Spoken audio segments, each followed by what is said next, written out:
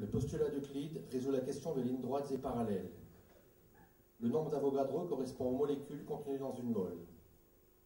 Le théorème de Ponsonnet-Steiner montre que la règle suffit pour la construction à la règle et au compas. La constante de Planck émet l'hypothèse selon laquelle l'énergie d'un rayonnement ne se transmet que par petites quantités indivisibles, quantum d'action h. Le théorème de Pythagore permet de calculer le troisième côté d'un triangle rectangle si l'on connaît les deux autres. Le principe de Lavoisier s'attache à la conservation de la masse et des éléments chimiques. Les rayons de Schwarzschild descendent l'existence des trous noirs. Le système de Ptolémée fait tout tourner autour de moi. Le système de Copernic me fait tourner autour de tout. Les lois de Kepler confirment. Le dialogue de Galilée confirme. Le principe d'Archimède parle de poussée verticale. La courbe de Van obtenue par reproduction de même motif simple indéfiniment, est un exemple classique de courbe fractale. La table de mortalité de Duvillard détermine la mortalité.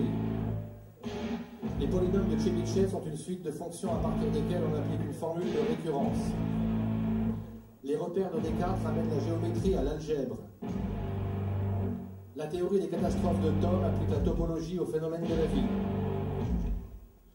Une courbe du troisième degré. Le théorème de Thalès concerne la proportionnalité des segments découpés sur deux droites séquentes.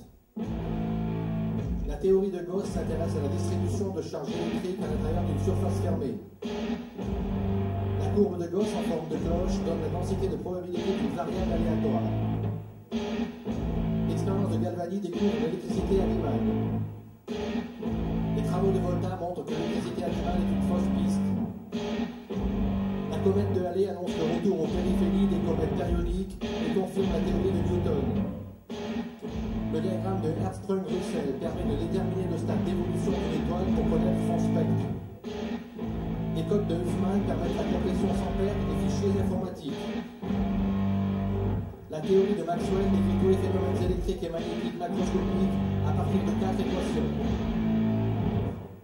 Le problème de Napoléon de Mascheroni permet de retrouver le centre perdu d'un cercle.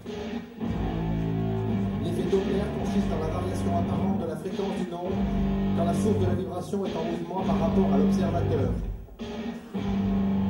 La théorie de Tartaglia résout les équations du troisième degré. La loi de Poisson du loi des grands nombres est fondamentale pour le calcul des probabilités. Le paradoxe de Russell du paradoxe du barbier pose que dans un village de barbier rase les hommes qui se rasent pas eux-mêmes, et seulement cela, ce qui interdit au barbier de se raser. La chambre à bulles de Rousset permet la mise en évidence des courants neufs faibles la mise en vérification des interactions électromagnétiques et faibles. La table de mortalité de Kerseboom détermine la mortalité. Les travaux de Kummer créent le corps des nombres algébriques qui rencontrent les idéaux. Le cercle de l'air a à voir avec la mécanique. Le raisonnement de Dedekind repose sur la théorie des ensembles. Les règles de Vienne permettent l'extraction des racines. La logistique spéciale de Vienne utilise des lettres. La conjecture de Fermat est devenue le théorème de Fermat. Le principe de Fermat est un principe de moindre action en mécanique. L'expérience de Morley prouve qu'il n'existe pas d'espace absolu. L'action de Zermelo démontre que tout ensemble doit être bien ordonné. La série de Fibonacci chaque nombre est la somme des deux précédents s'intéresse à la prolifération des lapins.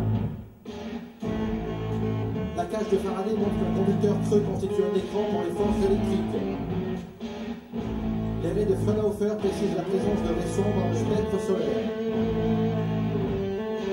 Le calcul intégral de Bernoulli pose que d'une somme infiniment petite, on obtient le tout.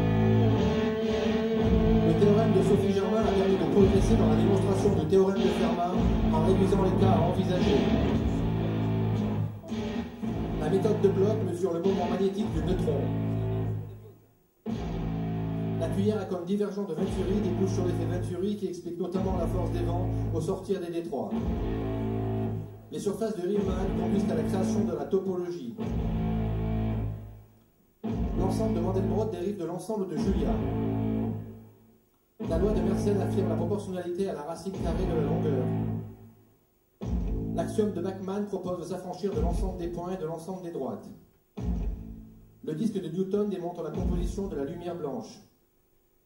Les intégrales d'Abel fondent la théorie des fonctions elliptiques. Le principe de Hamilton se substitue au principe de moindre action de Maupertuis. Le théorème de Branchion circonscrit l'hexagone à une conique. La théorie de Darwin accrédite la lutte pour la vie. Le paradoxe de Condorcet porte sur les règles de choix collectifs. La loi de Soddy régit les désintégrations radioactives.